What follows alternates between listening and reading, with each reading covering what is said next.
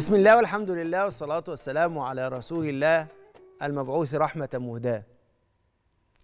أحلى مجلس ممكن تجلسه وأنت قاعد ما بين إيدين حضرة النبي صلى الله عليه وسلم. ساعات لما بحس إن إحنا بنتكلم في اليوم اللي إحنا بنتكلم فيه عن حديث رسول الله صلى الله عليه وآله وسلم بحس كده بحالة من حالات اللي كان بيحس بيها سيدنا أبو بكر. لما سيدنا رسول الله صلى الله عليه وسلم سأله إيه الحاجة اللي أنت بتحبها يا أبو بكر؟ فقال أن أنفق مالي عليك. يعني فكرة إن أنا أهديك فتهديني فتحبني تهاد وتحب. أن أنفق مالي عليك وأن نطيل الجلوس بين يديك وأن أديم النظر إليك. بحس إحنا في المجلس كده وكأننا إحنا قريبين من ده. وعشان كده بنحب دايما نغرق في أنوار حضرة النبي صلى الله عليه وسلم. وأنوار جوامع كلمة. وخاصة إن الحديث اللي هنتكلم عنه النهارده ده حديث عجيب. حديث فيه أسرار كتيرة جدا جدا. وأنا الحديث ده بالذات بحس وأنا بقرأه إنه فيه أنوار وفيه أسرار. ومحتاج اقراه مرة واثنين وثلاثة وعشرة. إحنا هنقراه المرة دي بس ما اوعدكمش إن دي تكون آخر مرة نقرأ الحديث ده. هنقراه وإحنا عايزين نتنور بأنوار حضرة النبي. والعجيب بقى إن الحديث ده من رواية عبقري من عباقرة الأمة من رواية سيدنا عبد الله بن عباس رضي الله عنهما. الحديث عن سيدنا عبد الله بن عباس رضي الله عنهما قال قال رسول الله صلى الله عليه وآله وسلم لرجل وهو يعظه. آه يبقى هنا في موقف أهو. لرجل وهو يعظه. اغتنم خمسا قبل خمس. شبابك قبل هر... قبل هرمك وصحتك قبل سقمك وغناك قبل فقرك وفراغك قبل شغلك وحياتك قبل موتك. يا سلام! ده باين عليها موعظه مهمة جدا. وأنا حاسس كده وأنا بسمع الحديث وكأني حاجة بتملى حياتي. يعني حاجة دي موعظة تامة تشمل جوانب الحياة كلها. حضرة النبي صلى الله عليه وسلم زي بيقول سيدنا عبد الله بن عباس قال لرجل وهو يعظه اغتنم خمسا قبل خمس. أيوه اغتنم شبابك قبل هرمك وصحتك قبل سقمك وغناك قبل فقرك وفراغك قبل شغلك وحياتك قبل موتك. هذه موعظة جليلة تملأ كل جوانب الحياة. لسه بنتكلم عن استقبال عام جديد من حياتنا وهنا حضرة النبي صلى الله عليه وسلم تأتي صورته البهية بكمال الطلعة الزكية فيدلنا على الحياة الهنية صلى الله عليه وسلم. خمس حاجات. وأنا أقول لكم المرة دي أنا هقرأ الحديث إزاي. إحنا عندنا خمس مجالات في الحياة. إحنا قبل كده اتكلمنا على إن إحنا في ثلاث مقاصد خلقنا من أجلها في هذه الحياة. العبادة والعمران والتزكية. عشان ننزل المقاصد الثلاثة دول على مجالات حياتنا محتاجين نبص للمقاصد الخمسة. اللي هي إيه بقى؟ المقاصد الخمسة. وهو ده اللي إحنا هنشتغل عليه السنة دي. المقاصد الخمسة هي إيه؟ حفظ النفس حفظ العقل حفظ الدين حفظ العرض والكرامة وحفظ المال. تخيلوا لما تأملت هذا الحديث. الخمس مجالات دول هي خمس مجالات بتشمل كل جوانب الحياة. المجال الأولاني الحياة الصحة. طيب والمجال الثاني الثقافة والتعليم. والمجال الثالث القيم. المجال الرابع المجتمع ونظرته للإنسان وإزاي يحافظ عليها. مجال رابع الإيه؟ الاقتصاد. إيه ده؟ حاجة غريبة قوي الصحة الثقافة والتعليم القيم المجتمع والعرض وفي الآخر خالص الاقتصاد. طب إيه اللي حاصل ده؟ لما نبص لحديث رسول الله صلى الله عليه وسلم وهو بيكلمنا عن ده وكأنه بيقول له ارجع تاني وأوعى في حياتك تحس إن حياتك ما فيهاش فرصة. أنت حياتك واسعة. كأن رسول الله صلى الله عليه وسلم شوف التعبير إيه؟ اغتنم. اغتنم يعني إيه؟ أول ما تسمع كلمة اغتنم هتيجي مع مع قوله صلى الله عليه وسلم إيه؟ ألا لله في أيام دهركم لنفحات. نفحات في إيه؟ نفحات في الصحة. نفحات في إيه؟ نفحات في العقل. نفحات في إيه؟ نفحات في القيم. نفحات في إيه؟ في الكرامة والعيش والمجتمع. ونفحات كمان في إيه؟ في الرزق والمال. الحديث ده بيقول لنا كده كمان. حضرة النبي بيقول لنا إيه إيه اللي حاصل؟ حياتكم أوسع مما تتخيلون. وعشان كده اغتنم فإيه اللي هيحصل؟ فهتجد وكأنك إذا اغتنمت هيحصل لك إيه؟ وعشان يبقى بقى الغنيمة. غنيمة يعني زيادة. يعني أنت نجوت مش بس النجاة لا وغنمت. ده حاجة زيادة بقى. على هيئة ولئن شكرتم لأزيدنكم. يعني دي زيادة. الغنيمة دي ما زاد عن الحاجة. طب طب إيه اللي حاصل؟ وهنا لما ندخل 2023 يبقى إحنا محتاجين إيه بقى؟ محتاجين حاجة مهمة قوي محتاجين أول حاجة الشباب قبل الهرم. طب يعني إيه الشباب قبل الهرم؟ إيه ده؟ ده بيكلمنا على فكرة الشباب هنا يعني إيه؟ يعني الطاقة يعني القدرة يعني العقل يعني الحركة يعني الثقافة. إيه ده؟ يعني اغتنم شبابك قبل هرمك اغتنم الفاعلية. وهنا وكأنه بيكلمنا عن مجال التعليم والثقافة. يعني اتعلم. وما وما تلتفتش لمغريات الحياة. لأنك أنت لو التفت لمغريات الحياة هتيجي لما تيجي تتعامل في المستقبل إيه اللي هيحصل هتلاقي ما عندكش قدرة. هو ده اللي بيخلينا نتعلم. نحن نتعلم في الشباب ونصون شبابنا بان إحنا نتعلم ونتثقف ونطلب الاشياء التي فيها نصل إلى إيه؟ نصل إلى مراد الله من خلقنا. يبقى وكأني اغتنم خمسا قبل خمس. شبابك قبل هرمك. اتعلم وتثقف وحافظ على العقل. آه يبقى ده المجال التعليم والثقافة أهو. طب ليه هنا في الحديث ما بدأش بالنفس؟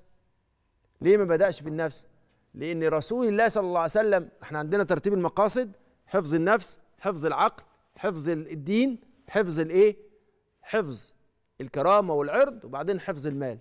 طب ليه هنا بدأ؟ وكأنه بيشاور على حفظ الايه؟ على حفظ العقل لأنه كان يعظه. فلازم يبتدي معاه من مدخل العقل. إيه اللي حاصل؟ أنت دلوقتي جاي وبتطلب نصيحتي. فأول حاجة أكلمك عن العقل. خذ من شبابك ليه؟ قبل هرمك. طيب. بعد كده إيه؟ واغتنم صحتك قبل إيه؟ قبل سقمك. طب صحتك قبل سقمك يعني إيه؟ بيكلموا على مجال الإيه؟ الصحة. خذ من صحتك قبل هرمك. ما تشملش بس إن أنت تطبب نفسك. إن أنت ما تقعش. يعني صحتك قبل هرمك يعني صحتك قبل قبل سقمك فيها إن أنت تاكل أكل صحي. اغتنم ده اغتنم إن أنت تأخذ وجسمك يتعود على العافية. ولذلك نعمتان مغبون فيهما كثير من الناس الصحة والفراغ. فلذلك إيه اللي حاصل؟ أنت لازم تاخد من صحتك قبل سقمك. حتى لو كان السقم ده بتقدم العمر. فتعمل إيه؟ فتهتم بصحتك. وعلى فكرة الصحة هنا مش المقصود بس الصحة الجسدية لكن كمان الصحة النفسية. فخذ من الآن وأنت في السعه ما تحافظ بها على ماذا؟ على اتزانك النفسي. وخذ أيضا ما تحافظ به عن على صمودك النفسي فتكون صامد ويكون ماذا؟ قلبك ليس مريضا نفسك ليست مريضة. يبقى إيه اللي حاصل؟ يبقى هنا هنيجي نبص لحاجة تانية خالص. يبقى ادي المجال التاني مجال الصحة. يبقى الأولاني كان مجال الإيه؟ مجال الثقافة والعلم والمعرفة. طيب والمجال التاني؟ مجال الصحة. وإيه؟ والصحة بمعناها الصحة الجسدية والصحة النفس والنفسية. وبعد كده قال له إيه؟ وخذ من غناك قبل فقرك. ما إحنا في المسير ده محتاجين إيه؟ محتاجين إمكانيات. وساعتها هنبقى إيه؟ الكلام عن عن ماذا؟ عن استثمار الموارد. وإن الإنسان دائما لا يقع فيما يسمى بإضاعة المال. ما حديث رسول الله صلى الله عليه وسلم ماذا قال؟ نعم قيل وقال. لاحظ برضو في نفس الحديث ده قيل وقال العقل. تحافظ على العقل. وكثرة السؤال. القلب يبقى يبقى متزن ما يشتتش نفسه. وإضاعة المال. وكأن الإنسان إذا قيل وقال وكثرة السؤال هيقع في إضاعة المال. إيه ده؟ الحديث منور قوي في أنوار ولسه دوت إحنا لسه حتى الآن بس بنكشف عن بعض أسرار هذا الحديث. يبقى خذ كمان من إيه؟ من غناك لفقرك. ولذلك رسول الله صلى الله عليه وسلم كان يدخر قوت سنته. حضرة النبي كان يدخر إيه؟ قوت سنته. تطبيق عملي لأخذه من غناه لفقره. وعشان كده إيه اللي حاصل؟ الإنسان اللي بيأخذ من غناه لفقره وبيحسب الأمور بيذوق على حلاوة نعمة الله سبحانه وتعالى. ولذلك ليس الغني بكث... ليس الغنى بكثرة العرض ولكن غنى غنى النفس. يبقى هنا يدخل بقى باب الرضا. إن أنت لن تستطيع أن تكون مستغنيا إلا إذا كنت راضيا. يبقى حاجة هنا مهمة جدا جدا جدا. وخذ من غناك لفقرك. يبقى إيه اللي حاصل؟ طب ورابع حاجة من فراغك لشغلك. طب وفراغ الشغل ده ده ده ماله ده؟ فراغ الشغل ده ماله بالمقاصد الخمسة؟ قال له آه. ما الفراغ لما تاخده ده ده اللي أنت بتعيش فيه في نعمة تانية من نعم الله سبحانه وتعالى. اللي أنت بتعيش فيه إيه بقى؟ بتعيش في كرامتك. تاخد الفراغ ده وتحافظ على علاقاتك. تاخد من فراغك لشغلك فتصون علاقاتك مع الناس. إيه ده؟ طب ما ده اللي هيحافظ على كرامتك ويحافظ على عرضك إن أنت توسع علاقاتك بشكل محترم وبشكل رائع. ولذلك شوف الفراغ بقى لما إحنا خدناه وأنفقناه في ال social media. عمل إيه؟ عمل فجوة وفرقة ما بين الأهل وما بين الناس. لا الناس بقت تزور بعض ولا الناس بتحس ببعض والعلاقات بقت تفسد والعلاقات بقت هشة. والعلاقات بقت بالعكس. ال social media ده عمل second life ناس عايشين في عالم موازي مش عايشين في العالم الحقيقي. وأصبحت الصداقة بتكون بال add مش بتكون بالمقابلة والعاطفة والإقبال. فإيه اللي حاصل؟ فبقى الفراغ عميق في الناس. فهو ما اخذت من فراغه لشغله بل أسرف في هذا الفراغ فتقطعت العلاقات وتفتت المجتمع. وبقى المجتمع هو مجتمع السوشيال ميديا مش مجتمع حقيقي. فياما ناس بتضيع كرامتهم بإشاعة وياما ناس بتضيع حياتهم بإشاعة وتفسد علاقتهم بإشاعة. ولا تفسد علاقتهم بنصيحة من غير متخصص فالحياة كلها تهيج وتقوم. الحقيقة يا سادة إن الفراغ ده لما الإنسان بيضيعه بيضيع كرامته. ولما الإنسان يسرف في فراغه بتضيع حياته كلها. لكن شوف بقى كمان يبقى أهو ده المقصد مقصد حفظ الإيه؟ حفظ الأرض والكرامه لكن كمان عندنا المقصد الأخير وهو مقصد حفظ الدين. طب وليه؟ جه في الآخر وقال له خذ من حياتك لموتك. ولذلك الكيس من دان نفسه وعمل لما بعد الموت. وإذا مات ابن آدم انقطع عمله إلا من ثلاث.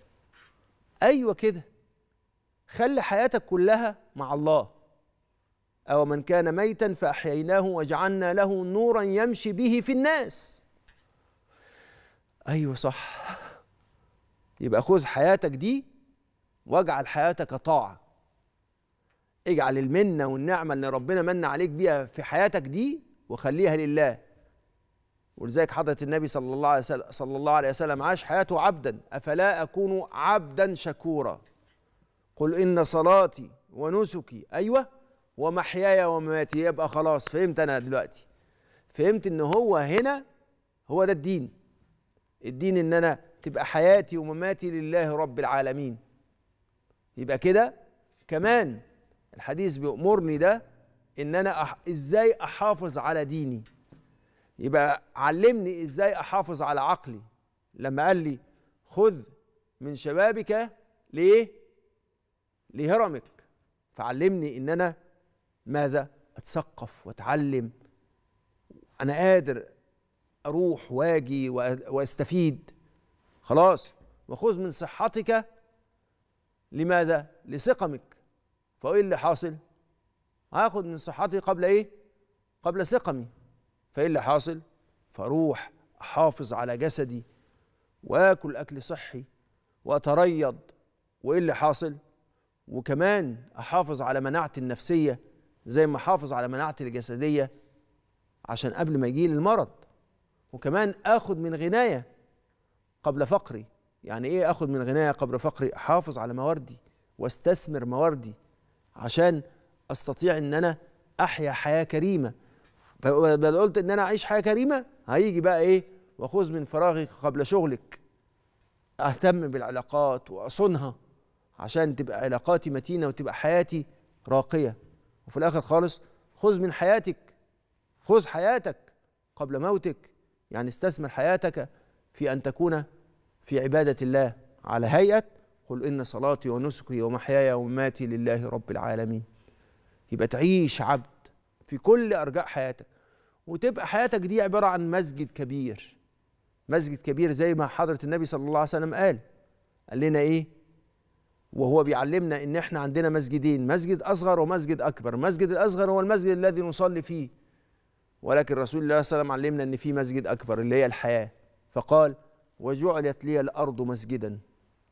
وجعلت لي الأرض مسجدا وتربتها طهورا. يعني جعلت لي الأرض مسجدا يعني أنا هصلي في كل شيء. أنا وبتكلم معاكم دلوقتي أنا بأقبل على الله سبحانه وتعالى وأصلي.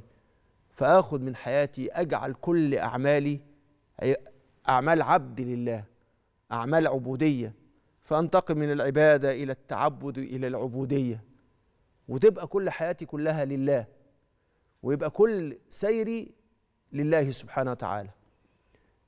لسه هنفضل نتكلم على حياتنا وإزاي حياتنا تكون فيها هذا المعنى الجميل اللي حضرة النبي صلى الله عليه وسلم بينه لنا لما قال لنا هذا الحديث المبارك اللي هيفضل يفتح لنا أبواب الحياة وهنفضل نعيش معاه. اغتنم خمسا قبل خمس. شبابك قبل هرمك. يبقى دوت كلام على ببساطة خالص عن العقل عن حفظ العقل وصحتك قبل سقمك ده كلام عن حفظ النفس وغناك قبل فقرك. كلام عن حفظ المال وفراغك قبل شغلك. كلام عن حفظ العرض والكرامة وحياتك قبل وحياتك وحياتك قبل موتك. ده كلام عن حفظ الدين. أنا أقول لكم شوية إجراءات تعملوها في أول هذا العام الجديد بهذه الخمسة. على طول ببساطة. ابدأ مباشرة واختار جملة من الكتب تقرأها. اختار جملة من الكتب تقرأها هذه السنة. أو جملة من الأشياء تتعلمها في هذه السنة. إذا كنت أنت عايز ماذا؟ تستثمر شبابك قبل هرمك عشان تنمي عقلك. اختار أشياء تتعرف عليها. واختار الأشياء اللي تتعرف عليها دي وليكن ثلاث كتب أو ثلاث معارف حاجة في العلاقات وحاجة في العمل وحاجة كمان في علاقتك بربنا بشكل واضح. وخذ كمان من صحتك قبل إيه؟ قبل هرمك. ابتدي على طول رياضة. أي رياضة تعملها عشان مش بس جسمك يبقى كويس مش عشان جسمك يبقى منحوت لأ. ابتدي انت رياضة وابتدي هو وابتدي هو رياضة عشان تدب العافية فيك. وخلي الرياضة وانت بتعمل الرياضة خلي الرياضة تبني فيك معنى.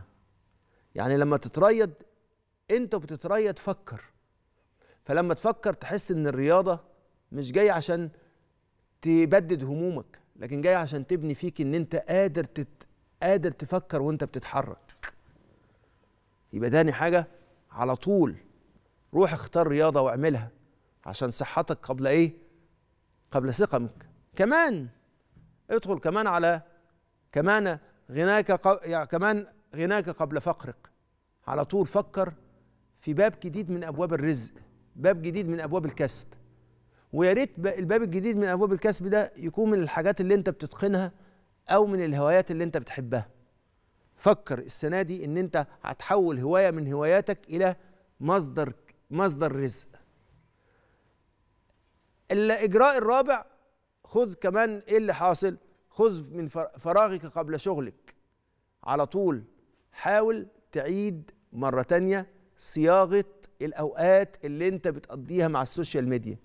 لا تقضي أكتر من ساعة في ال 24 ساعة. واللي خصمته من الوقت اللي أنت كنت بتقعده في ال social media ارجع تاني خليه في العلاقات المباشرة ما بينك وبين الناس. اتصل بأحبابك. حاول تقول كلام حلو للناس. شجع ناس محتاجين تشجيعك. وكمان آخر حاجة حاول تعرف انت إيه اللي موقفك في الإقبال على الله. وخد قرار ان انت على الأقل تعمل ثلاث حاجات عشان تصلح العلاقة وتاخد من حياتك قبل موتك. أول حاجة لازم يبقى ليك خلوة مع الله. تاني حاجة ببساطة لازم تزيد من النوافل. تالت حاجة لازم يبقى في وقت خاص تدعو الله سبحانه وتعالى فيه إن هو يفتح عليك الأبواب ويرزقك.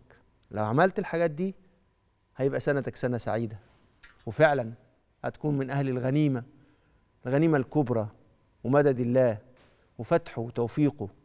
لو عايز السنة دي يتكتب عليها إن فتحنا لك فتحا مبينا اغتنم خمسا قبل خمس.